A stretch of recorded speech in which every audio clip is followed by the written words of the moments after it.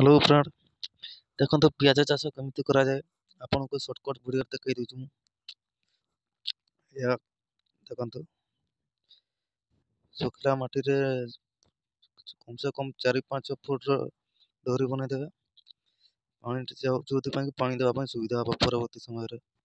ଏମିତି ଶୁଖୁଆ ମାଟିରେ ବନେଇ ଦେଇକରି ତାକୁ ଡୋରି ବନେଇଦେବେ ଗୋଟେ ଗୋଟେ ଜାଗା ତାପରେ ଏଠୁ କାଦୁଅ କରିବେନି ପାଣି ପାଣି ଦେଇକରି ତାପରେ ଏମିତି ଯେଉଁ ଦିଆଯାଉଛି ଦେଖନ୍ତୁ ଏମିତି ହିଁ କରିବେ ଦେଖନ୍ତୁ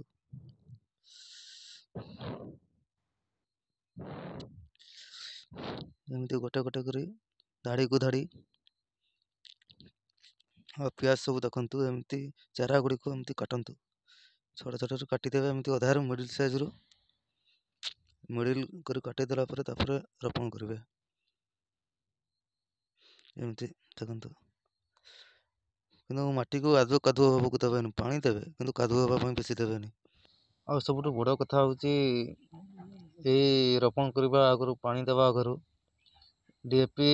ସାର ଏବଂ ପଟାସ୍ ସାର ସେଠାରେ ଦେଲେ ଭଲ ହୁଏ ଚାଷ ଫୁଲଟି ଭଲ ଲାଗୁଥିଲେ ଲାଇକ୍ ଏବଂ ସବସ୍କ୍ରାଇବ୍ କରିଦିଅନ୍ତୁ